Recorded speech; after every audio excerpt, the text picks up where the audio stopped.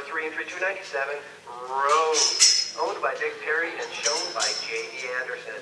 On deck, draw number four, entry 296, First Midnight Dancer, shown by Megan Shea, and in the hole, draw five, entry 298, Suzette Checks, shown by Janice Anderson.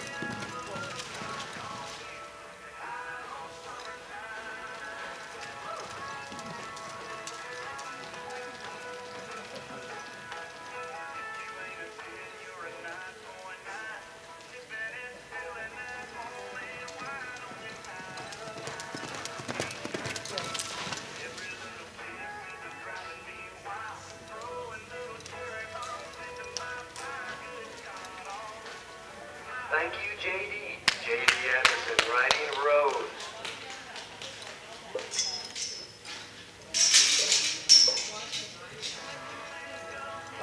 The score for Rose, owned by Dick Perry and shown by JD Anderson, is a 72.